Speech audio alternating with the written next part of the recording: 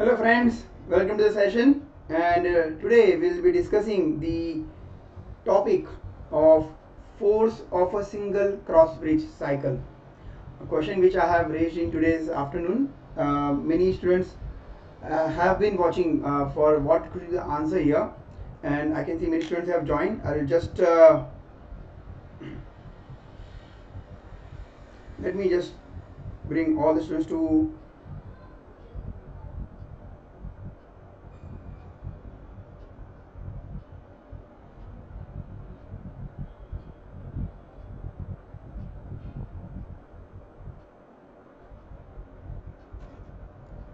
yes. So we'll be discussing the force of a single cross bridge cycle. Now what does it mean?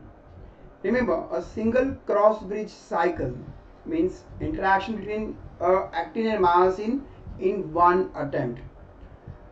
A paper was published in the year 1995 uh, by the three scientists uh, dr Finer mehta and Spudich they have devised a method by which uh, they can actually by which they can actually uh, determine the force of a single cross bridge cycle and how much is the displacement occurs when the one myosin cross bridge or one power stroke works.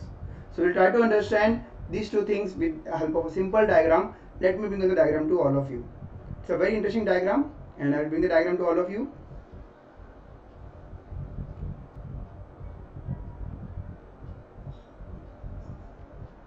Yes.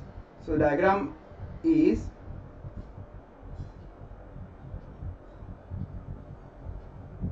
yes. Uh, this is the diagram which I wanted to show you for the single cross bridge cycle. I hope the screen is visible to all of you. Yes. Can I just have a hi or hello or uh, some sort of reply? Yeah. Yes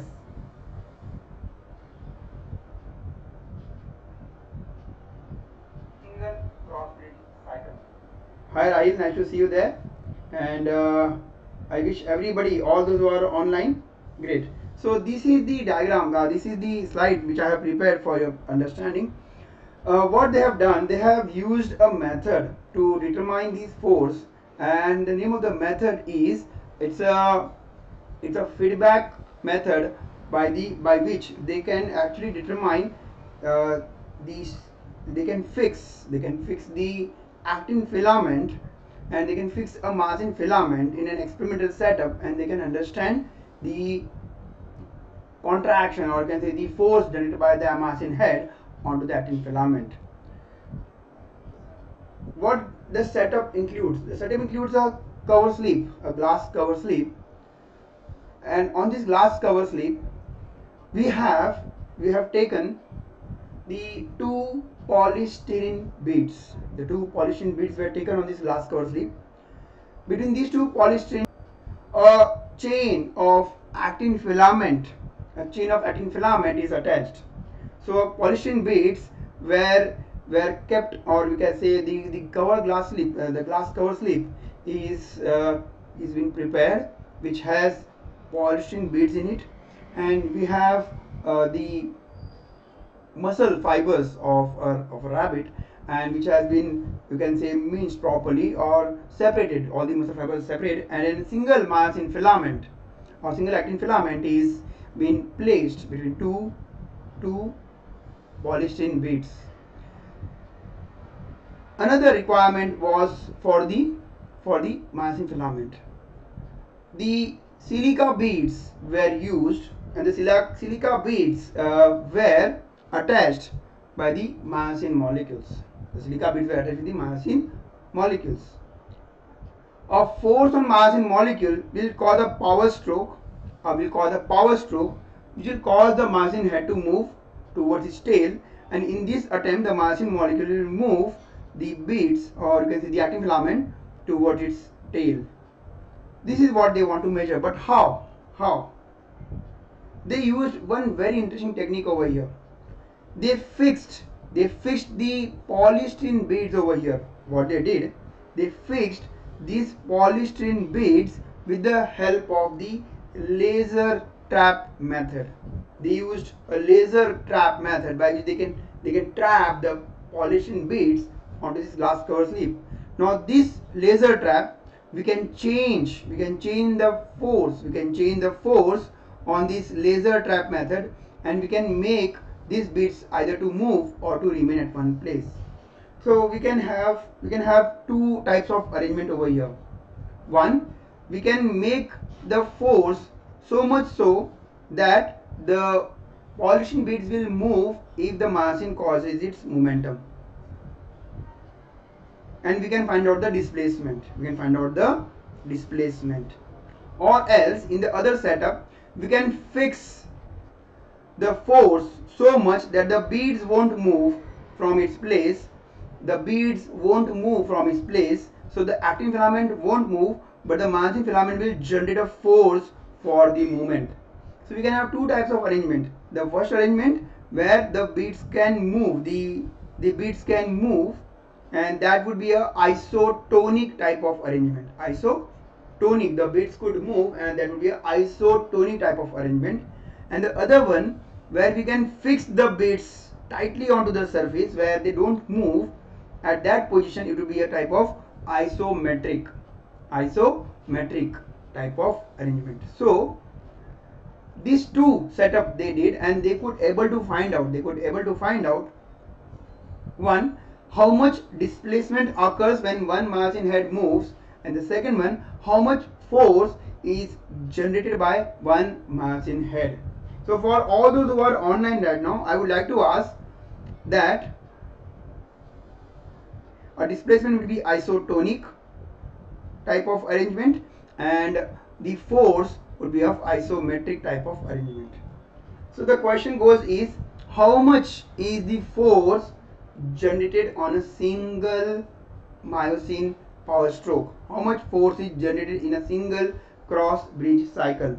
5, 10, 15 or 20 piconewtons. How much force is generated when the myosin head contracts or the myosin head moves? Can anybody on the chat box would like to tell me how much force is generated when we have a single cross bridge cycling? Is it 5 pico newtons? Is it 10 piconewtons? Is it 15 piconewtons or is it 20 piconewtons?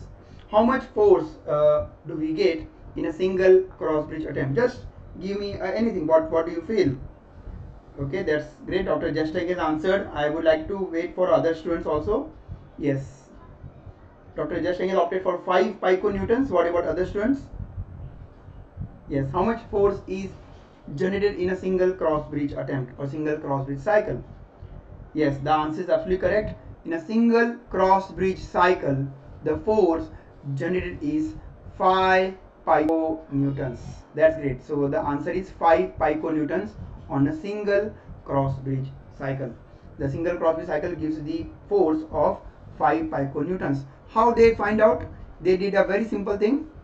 What they did is that they fixed they fixed the polystyrene beads onto their place by increasing the force of this laser light the laser light was thrown onto the beads and the beads were fixed the beads were not allowed to move when the myosin head the myosin head makes an attempt to contract or to move its head in, an, in that attempt the myosin head generates a force and that force could be found out by the tension generated in the tension generated because that that myosin head will attach that filament and will try to pull it but it won't pull.